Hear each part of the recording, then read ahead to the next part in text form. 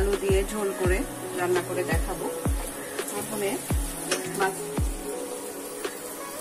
মাছ নিয়ে নিয়েছি। এখানে মশলা, হলুদ গুঁড়া, জিরা গুঁড়া, রসুন বাটা, মরিচ গুঁড়া, জিরা গুঁড়া। প্রথমে পেঁয়াজটাকে হালকা বেরেস্তা করে নিব, হালকা ব্রাউন করে নিব। তারপরে কাঁচামরিচ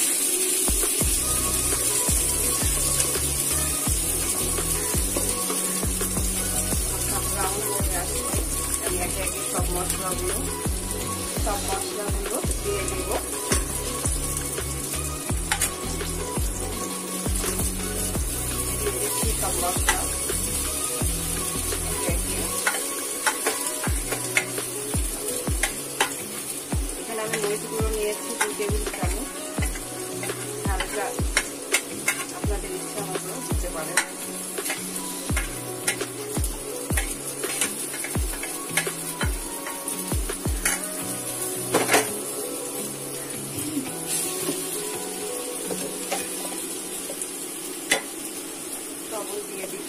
স্বাদ মতো পরে লাগলে আবার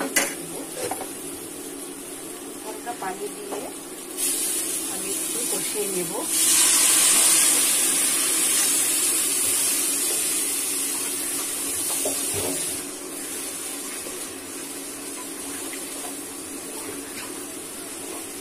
সামান্য একটু কষিয়ে তারপর আমি ঝিঙ্গা আলু দিয়ে দিব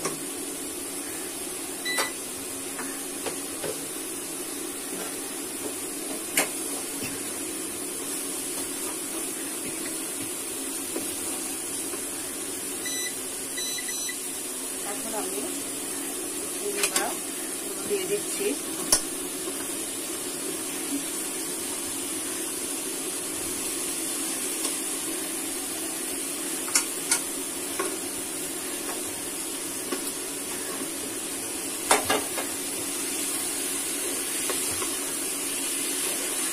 আমি পানি দিব না, ঝিঙ্গা থেকে পানিটা বের হবে।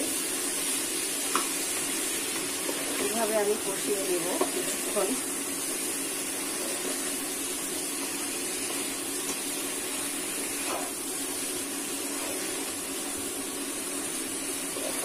আমি ঝিঙ্গাটা আমার কষা হয়ে গিয়েছে।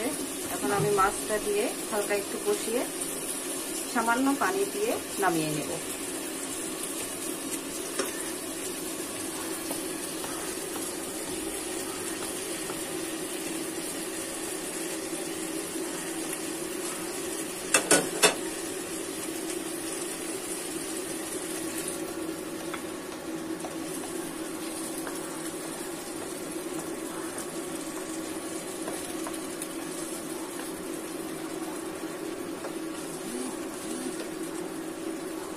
হালকা একটু কষিয়ে।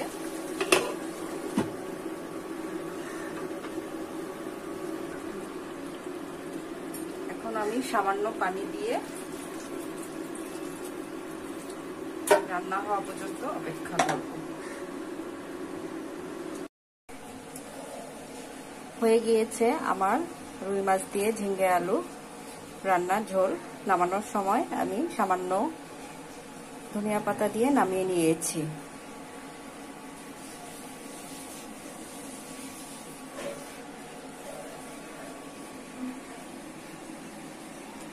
নেক্সট ভিডিও নিয়ে আবার হাজির হব। আল্লাহ হাফিজ।